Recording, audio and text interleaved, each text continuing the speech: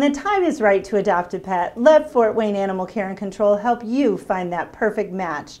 Our experienced and well-trained pet adoption counselors can answer your questions and guide you through the process of adding a new pet to your home. Come to our adoption center located at 3020 Hillegas Road where you can find dogs, cats, puppies, and kittens.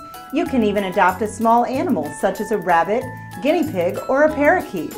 To narrow your search, go to our website at fwacc.org and view pictures of our available animals.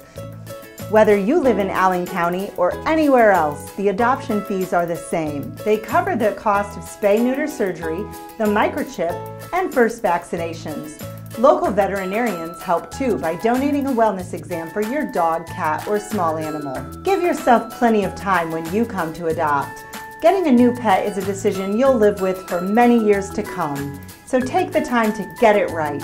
We ask that you bring the following with you when you come to adopt family members under the age of five, vaccine history of your current pets, and if you're seeking to adopt a dog and have a dog at home, bring your dog in for an interaction.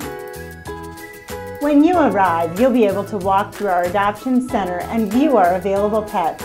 After you find an animal you would like to meet, you'll fill out an adoption profile. To save you time, you can print it and complete an adoption profile from our website before you arrive. Next, an adoption counselor will assist you in meeting an animal. If you decide this is the right one for you, we'll send the pet home the same day. Adopt your next pet from Animal Care and Control, where friends become family.